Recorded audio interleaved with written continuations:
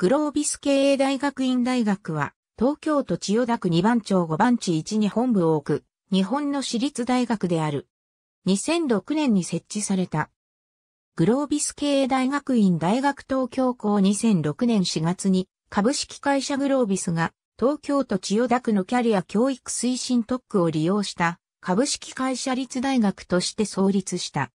その後、2008年には設置者を学校法人グロービス経営大学院に変更し、通常の学校法人立の私立大学となった。現在経営研究科のみが設置されている。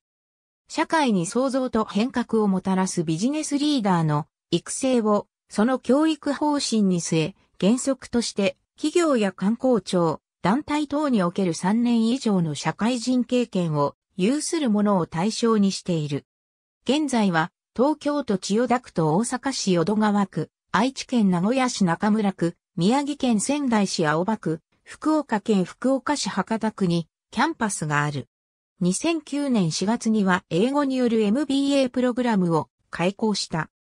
グロービス経営大学院大学の前身となるグロービスマネジメントスクールは1992年2月にグロービスグループによって設立されて以来アメリカのハーバードビジネススクールの翻訳教材と教育手法による教育プログラムを用いて社会人向けの土日、夜間型のマネジメント教育や企業のリーダー層向け人材研修を展開していた。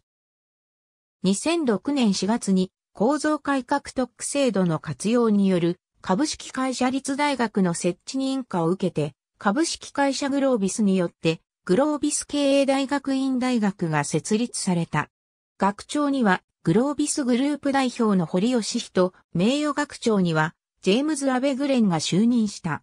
初年度は1学年60名の定員に対し、78名が入学した。その後、2008年には設置者を学校法人グロービス経営大学院に変更し、通常の学校法人立の私立大学となった。2013年度は合計503名の入学生を迎えた。2021年現在、国内には東京、大阪、名古屋、仙台、福岡の5つのキャンパスがある。ありがとうございます。